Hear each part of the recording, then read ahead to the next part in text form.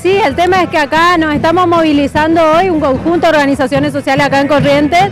Eh, a nivel nacional los movimientos sociales eh, nos declaramos en estado ya de alerta y movilización por toda esta crisis que, se, que están generando los mercados, que se está especulando con las elecciones mientras el pueblo está pasando hambre.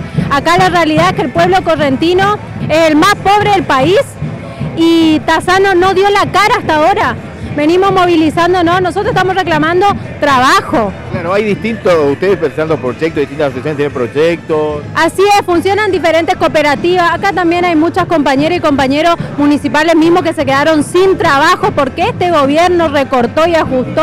Acá se cerraron muchos puestos de trabajo en la provincia a lo largo de estos dos años. Vías navegables, la Tipoití que está en crisis. Eh, los feriantes del puesto que también estuvieron reclamando. Hay una crisis en corriente que es general, que está afectando cada vez más a todos los sectores. Mañana y pasado va a seguir aumentando lo, los productos básicos de la canasta alimentaria. Y eso es una crisis que nos afecta a todos los correntinos, dejándonos en la miseria.